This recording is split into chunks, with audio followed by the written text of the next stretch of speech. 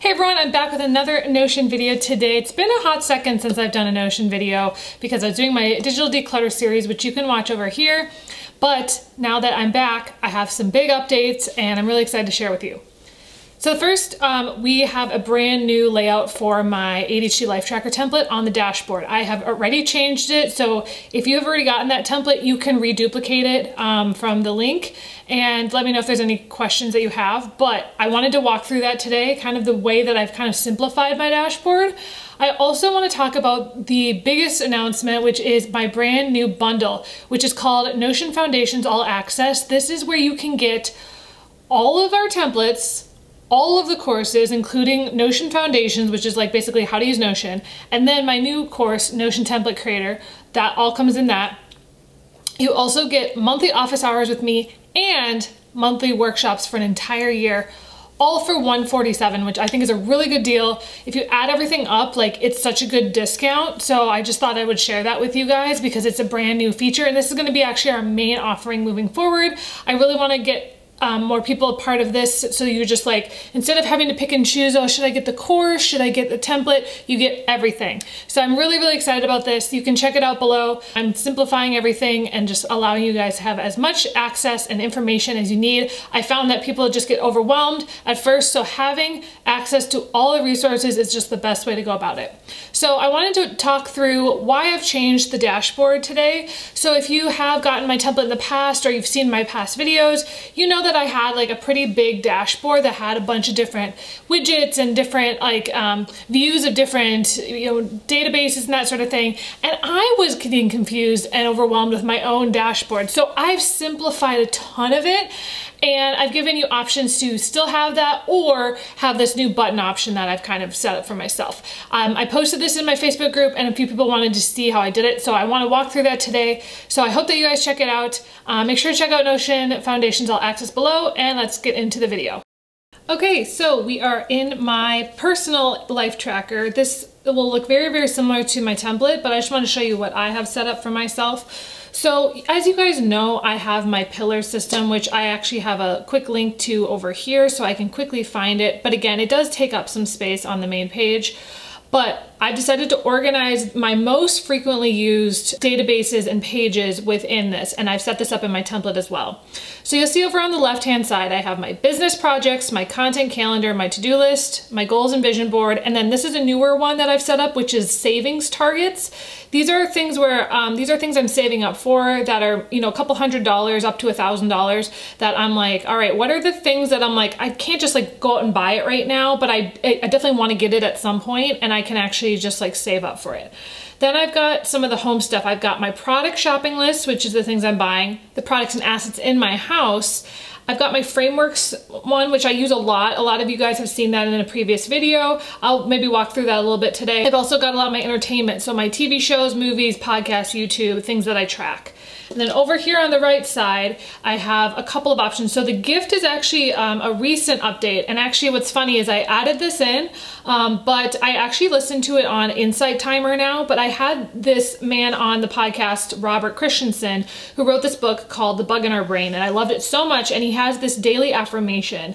Um, I had just copied it from the book, but he does have it on Insight Timer and I'll leave that link below. But if you open it, you'll see that I literally just have it written out. So I have all the things I'm saying out loud in there. It's kind of a great, you know, catch-all like area that I can um, read it from. I've also got the grocery list, my meals. Um, this is actually an add to grocery list button. So this actually goes to a page where I can have even more buttons set up. So if I'm like, I need to add um, chocolate chips to my grocery list, I can have like a list of all of my buttons and then it will automate adding that to my grocery list and changing the status, which we can talk about maybe in a future video. Then I have my books, so that's my current books I'm reading. My daily routine, which is part of the daily life tracker. I've got these this automation. So this is kind of just like some automated things that I've set up and then I've got my knowledge vault and tags. This is the biggest database that I have. I've gone through this before. It's sorted into the 13 pillars and this is basically just like everything in my life. I've got you know, this is basically my hub of every single page that I have. And I don't know about you, but I was so excited that Notion can ha now have um, ch change to have a ton of different icons changed all at once, which has been super helpful Then you will see I have my widgets, I've got a weather, and then I've got um, date, and that's basically it. So this is my homepage now, and it looks very similar on the template as well, but these are what I have found personally are my most actively used. So I'll go into each of these really quick and show you guys kind of a walkthrough of what that happens to go to, because again, a lot of people just want to see. So the first one is business projects. Now, currently I have it sorted by the, you know, priority. So I have different things I'm working on. Um, and then I just have ones that aren't as big of priority. So if I'm just trying to find something, I can also see the status, me what the business projects I'm working on right now. So then when I move over to the content calendar, I will open that. And then I've got all of my, you know, upcoming potential ideas. You guys have probably seen this one before. This is part of my main database. And then I've got my to-do list. So these are like the, the, currently, so I filtered this one out so that it's like only high priority things I have to do today. Um, you can see I have like a list of things.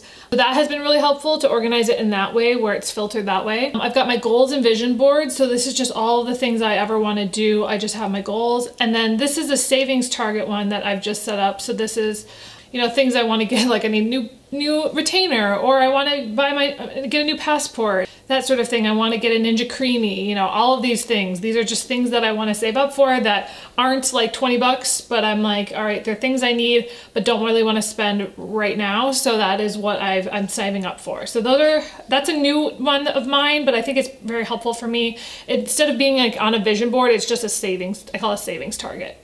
I've got my product shopping list, so these are all the things that I need right now. Got my products and assets, so you guys have seen these. If you haven't watched previous videos, I go through all of these. So my products and assets, so this one, I don't know why it's sorted that way, but I've got literally all of the different rooms in my house. I've got all the things that I own.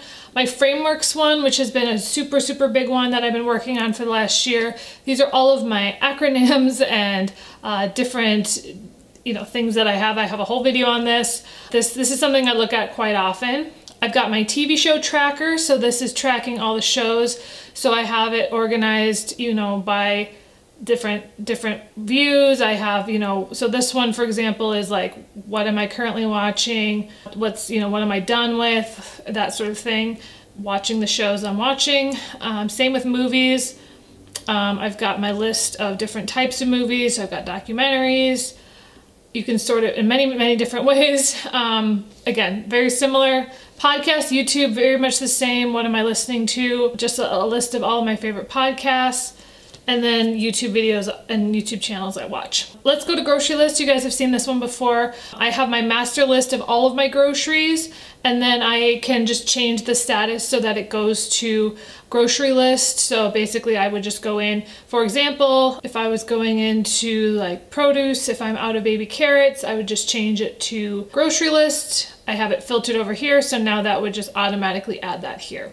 It's a very, very easy way for me to track my meals and groceries. Here I have all of my list of all the different meals. Um, I have all of the different, you know, recipes of all the different things I've ever tried, which then links also over, relates over to all of the grocery list items, so I know exactly what I need. The add to grocery list, you'll see here that like, for example, if I'm out of chocolate chips, I just click that and it automatically changes the status. And by doing that, um, I have set up a button so that it automatically changes that over. I've got my books, so these are what I'm currently reading um, any notes. So I'm just reading this one now called Influence is Your Superpower. I've just started taking notes on it. So now I have that inside of there. I need to move it to a different folder. For my daily routine, my daily routine, so that this is today, you can see where the status is of everything. Um, and if I wanted to update that, I would go into the automation. So for example, if I made my bed, I just click that. And then you will see within here, that made bed is done. So again, this kind of goes along with the daily routine. Um, I've done a whole video on buttons and automation, so you definitely should watch that video.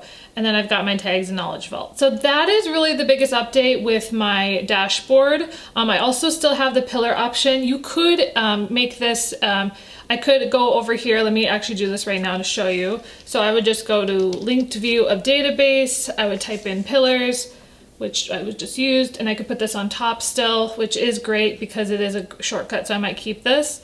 But you'll see that these are, even within these, these are the ones that I use the most.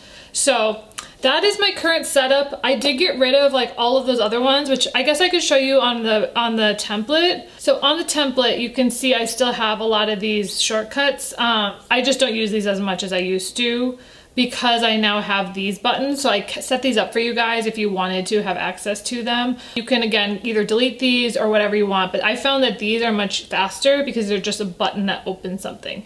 If you wanted to create your own, obviously you just go to button, you would select open page and then you'd select which one you want to have open. So whatever your most frequently used uh, pages are, I found that the buttons are really, really helpful because you know exactly what you're looking for and you can quickly find it. So that's what I would recommend for this template. Um, it is part of the new Notion Foundations All Access, as well as all of my other templates, all of my courses, and monthly training. So you guys should definitely check that out. You can see the link below and I'll talk to you guys next time. Hope you guys enjoyed this quick episode. Tell you guys more about Notion.